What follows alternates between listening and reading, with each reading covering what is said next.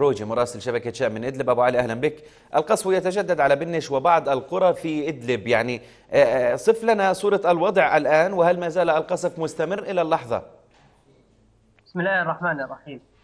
شهد شهدت مدينة بنش ليلا قصف عنيف براجمات الصواريخ حيث سقط أكثر من 30 صاروخ على المدينة وكان هناك عدد من الجرحى وبعض الأضرار المادية. أما في جسر الشهور قامت عصابات الأسد في قرية فريكي بوضع حواجز على كل الطرق المؤدية للبلدة لبلدة فريكي خوفا من مهاجمة كتائب الجيش الحر للحواجز المتواجدة فيها. أما في نفس مدينة جسر الشهور كان هناك استنفار أمني كثيف على الحواجز وخصوصا على حواجز الحي الشمالي وتعرضت بلدة النادية لقصف تعرض بالقصف من الطيران الحربي بالبراميل المتفجرة. أما في جبل الزاوية تعرض معظم قرى جبل الزاوية للقصف من الدفاعية الثقيلة ومن الحواجز المتواجدة في الحامدية وحاجز صيان جنوب معركة عمان.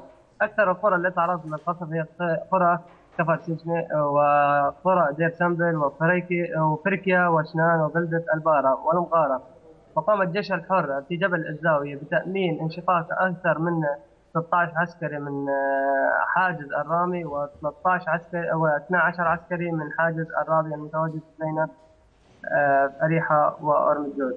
في معرة النعمان الطيران الحربي قصف بشدة براجمات الصواريخ على وسط المدينة مما أدى إلى تدمير العديد من المنازل.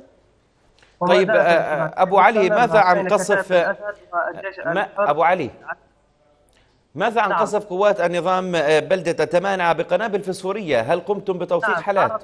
تعرض في الريف الجنوبي تعرضت بلدة التمانعة للقصف من الطيران آه، الهليكوبتر بالقنابل الفوسفورية آه، الحارقة أمس أما في الريف الشمالي تحديدا بلدة زردنة أيضا تعرضت للقصف وتحليق مكثف للطيران الحربي في سمائها. في معرة في معرة مصرين على ريف معركة المصريين قامت أيضا الطائرات بإلقاء العديد من البراميل. آه، مجمل الحديث أن محافظة إدلب تعرضت لقصف عنيف آه، البارحة وليلة البارحة مما أدى إلى إلى إلى دمار واسع بين المنازل. الأحوال الإنسانية صعبة جدا.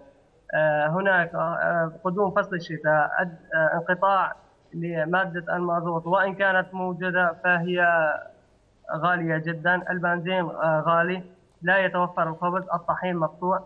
أحوال إنسانية صعبة خصوصا خيم اللاجئين على الحدود مخيم أطوى وبعض المخيمات آه، الصغيرة. آه، أكثر من خمسين ألف نازح من آه، حنبل وعين الحمراء وسلي وفريكي بسبب الاشتباكات نعم، الجارية. نعم وصلت وصلت الصورة أبو علي الروجي مراسل شبكة شام كنت معنا من إدلب. شكرا جزيلا لك.